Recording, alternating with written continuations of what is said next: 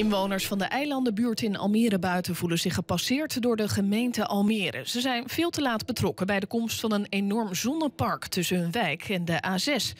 Die kritiek lieten buurtbewoners Karel van Brederode en Joop Bremer eerder vandaag horen in onze uitzending. En ze krijgen gelijk van de initiatiefgroep Burgerparticipatie Almere. Die heeft de gang van zaken onderzocht en stelt vast dat de gemeente Almere zeer in gebreken is gebleven. Holde Leeuw is hier en Ad Kuiper van Burgerparticipatie Almere. Welkom eh, alle twee hier in de studio. Um, eventjes uh, deze concrete uh, zaak rond de eilandenbuurt in Almere. Wat is daar nou uh, precies misgegaan, meneer De Leeuw? Ja, het, het, lastige is dat er eigenlijk een valse start is gemaakt. De gemeente heeft jarenlang zeg maar, voorbereidingen getroffen, keuzes gemaakt. En ja, eigenlijk wil het min of meer toevallig is, is later een keer uitgelekt dat het speelde. Door ja. de wethouder die zich versprak. Ja, en dan is het natuurlijk niet heel handig als je dan ja, een participatietraject start wat alleen nog maar gaat over het invullen van één veld. Maar dat klinkt een beetje alsof doelbewust uh, de bewoners uh, ja, onwetend zijn gehouden van wat eraan kwam. Het is de vraag of dat doelbewust is gebeurd. De gemeente heeft wel participatie hoog in het vaandel staan. Ja. Blijkt ook uit het collegeprogramma wat ze hebben. Maar uh, wij roepen dan steeds: participatie begint bij het begin van een traject en van een project.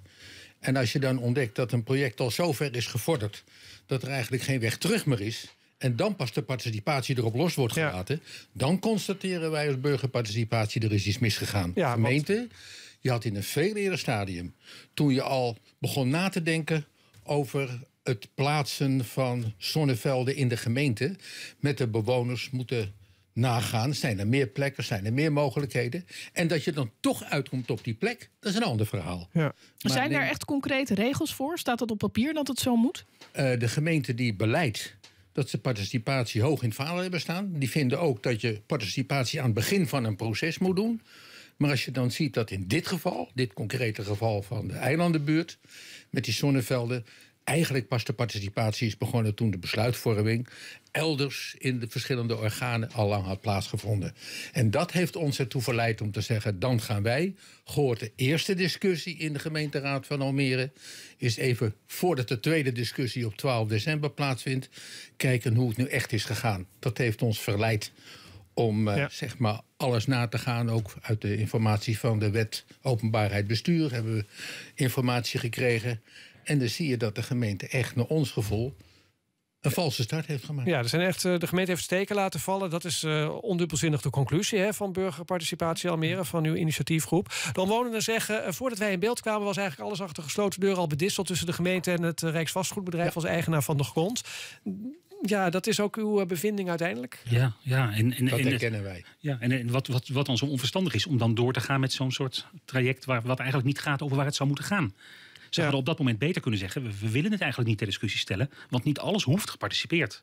Nee. Juist dat, die spagaat waarin ze zitten. Want er zijn vervolgens wel informatie, uh, uh, bijeenkomsten geweest waarvan de bewoners zeggen: ja, nou ja, daar werd eigenlijk nauwelijks meer uh, naar ons geluisterd. Dat was een beetje voor de vorm, lijkt het dan wel. Is dat ook het gevoel dat u bekruipt? Ja, ja, en de bewoners zelf die trokken zich ook langzamerhand wat terug. Hè? Op grond van die informatiebijeenkomsten zeiden, we, zeiden ze van mooi, die informatiebijeenkomsten, maar nu we weten wat er aan de voorkant al is gebeurd, al jaren geleden, vanaf 2014. Ja, dan vraag je je eigenlijk af wat we hier aan het doen zijn. En nu zei u net een valse start. Ja. Uh, er is nog geen definitief besluit genomen. De gemeenteraad moet nog besluit nemen over het zonneveld. Wat adviseert u nu? Nou, als ze ons zouden vragen wat is het advies, dat hebben we ook in onze notitie geschreven.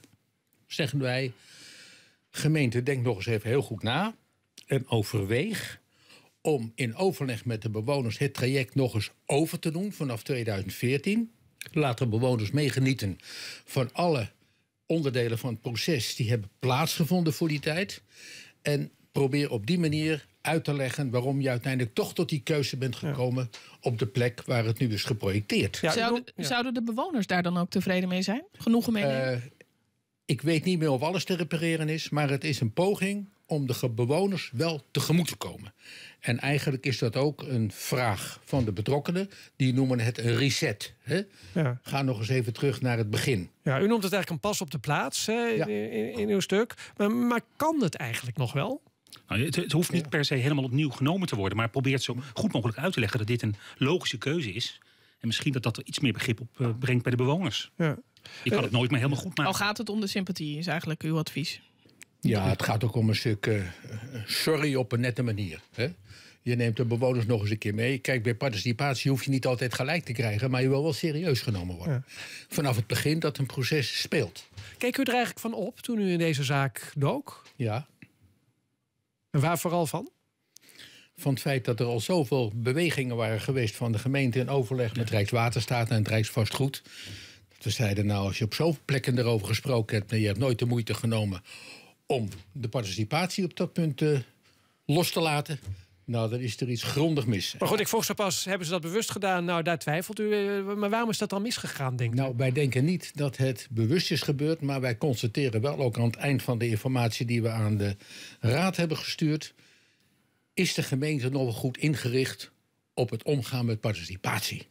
En daar hebben we twijfels over. Dat is een mooie vraag. En dan gaan we zo meteen ook even wat breder kijken of dit nou een incident is of dat het vaker voorkomt. De gemeente Almere heeft participatie van inwoners hoog in het vaandel staan. In theorie dan, want rond het geplande zonneveld tussen de eilandenbuurt in Almere Buiten en de A6 is het inspraakproces helemaal de mist ingegaan, concludeert initiatiefgroep Burgerparticipatie Almere.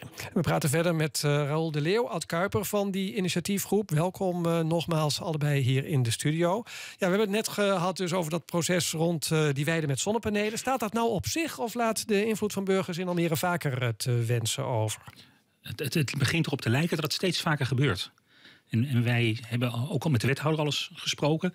En wij zijn eigenlijk aan het zoeken naar de oorzaken daarvoor. En we denken dat de bezuinigingen niet meehelpen die plaatsvinden. Bezuinigingen op? op? Op de gemeentes, waardoor er gewoon minder geld is. En participatie kost tijd en dus ook geld in een project. Ja, dat valt dan tussen wal en schip omdat er uh, gebrek aan geld is. En, en ook, ook omdat de gemeente weer met een reorganisatie bezig is. En daardoor ja, afdelingen weer worden gereshuffeld. En waardoor ook de enige afdeling die ze hadden die participatie begeleiden, is opgeheven. Dat was het expertisecentrum. En door wie is dat nu overgenomen dan? Dat is op dit moment niet heel duidelijk. En wij denken oh. dat dat ook een kernoorzaak ja. is van het probleem. Ja. Dat iedereen en, denkt, de ander doet dat wel. Ja, misschien dan meteen. Ja. Maar je hebt zo'n mooie volzin altijd die je inbrengt. Ja, nee, Ad Kuiper. Ja. ja. Wij zien dat de gemeente worstelt met participatie op dit ogenblik. En wij stellen dat de gemeente iemand nodig heeft in zijn organisatie... die met voldoende gezag, gezicht en gewicht invulling kan geven aan het fenomeen participatie tot en met de voorbereiding van besluitvorming in het college. Dat als er een project in het college komt, dat er een document bij ligt, wel of geen participatie. En zo ja, op welke manier gaan we het invullen? Er is zelfs een afspraak gemaakt waar de raad het mee eens is dat je vooraf bij bepaalde projecten de bewoners moet vragen waarover wil je participatie. Dat betekent soms dat je niet over de hele Floriade hoeft te praten, maar dat je alleen over het belang van de bewoners ter plekke uh, hoeft te praten. En dat is een, uh, slok op een borrel die dat ja. scheelt. Maar er zou dus een participatiefunctionaris moeten komen in uw uh, ogen. Ja. Is dat dan een ambtenaar of een wethouder? Hoe stelt u zich dat voor? Dat zou een ambtenaar moeten zijn. Er is een wethouder die natuurlijk verantwoordelijk is voor participatie. Maar wij denken dat de ambtelijke bezetting onvoldoende is en geen gezag, gezicht en gewicht heeft. Mooi voorbeeld is als er iemand binnenkomt omdat hij een bepaalde vergunning wil, dan komt hij eerst bij afdeling A, akkoord. Afdeling B, akkoord en afdeling C is de vergunningverlening, niet akkoord. Nou, dat moet je zien te voorkomen. He, dat is niet de manier waarop je nee. als gemeente met je burgers omgaat. Maar je ziet het bijvoorbeeld ook met uh, de privacy. Grote organisaties moeten een privacy officer hebben om te zorgen dat die wetten, zoals de AVG, worden gehandhaafd. Mm -hmm. En als je participatie heel belangrijk vindt, zul je toch echt een aanspreekpunt moeten hebben.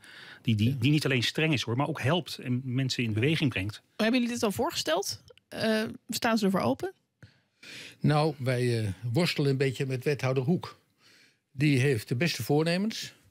Die houdt ook van participatie, beleidt hij.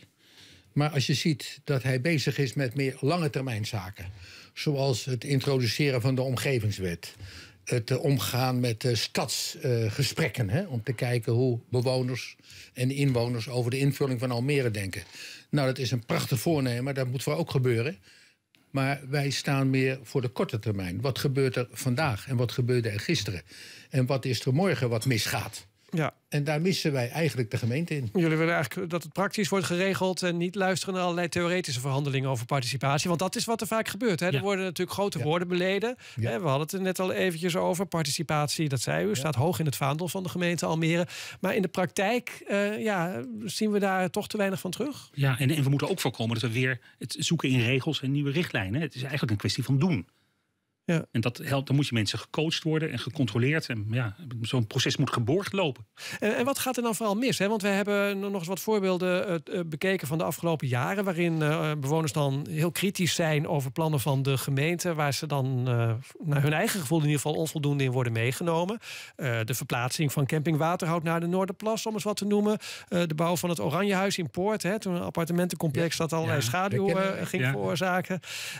bomenkap in de bouwmeesterbuurt in de Kruidenwijk. Uh, nou ja, de aanleg van het slipdepot Noorderplassen. En er werd er elke keer gezegd... ja, de communicatie vanuit de gemeente laat te wensen over. Is het vooral een communicatieprobleem? Nou, het is wel de basis. Kruidenwijk hebben we onderzocht. Dat is een leuk voorbeeld. De bomenkap? Ja, daar, daar zijn een paar heel onhandige brieven geschreven... waar een verkeerde suggestie over de manier van inspraak werd, ja, werden, werden verspreid. En dat brei je daar niet makkelijk mee recht. Dat mensen dachten dat ze meer inspraak zouden hebben dan dat, dat, het daadwerkelijk En dat was. maar beperkt en dat, dat maakte het daarna heel moeilijk. Ja. En dat was zeker geen opzet, want dat, juist dat grote onderhoud is in Almere eigenlijk best heel goed geregeld. Want hoe, hoe zou... De indruk wil ik ook niet wekken dat wij zeggen dat participatie altijd misloopt. Er lopen ook heel veel projecten heel erg goed. Ja.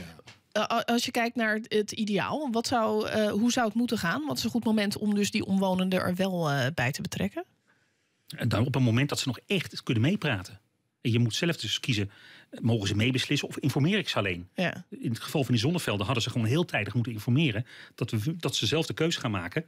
En dat er bijvoorbeeld alleen maar inspraak komt over de inrichting. Dat was ze kunnen doen. Ja, dat was stoer en netjes geweest. Ja, daar waren de omwonenden waarschijnlijk ook niet blij mee geweest dan. Hè? Nee, nee, wij ook niet. Maar hadden ze kunnen doen. Ja, ja. Want dat is natuurlijk ook wel een beetje een dilemma voor een gemeente, kan ik me voorstellen. Ja, als we te vroeg uh, komen, terwijl we het nog niet helemaal uh, voor onszelf duidelijk hebben, ja, dan, dan sta je misschien heel veel verwarring. Misschien eh, komen mensen wel niet eens naar zo'n informatiebijeenkomst. Want mensen komen natuurlijk vaak pas in actie op het moment dat ze ergens boos over kunnen worden. Ja. Dat als er echt een kant-en-klaar plan ligt. Ja. Nou, ik wil de parallel trekken met de omgevingswet, die in ontwikkeling is. Ja.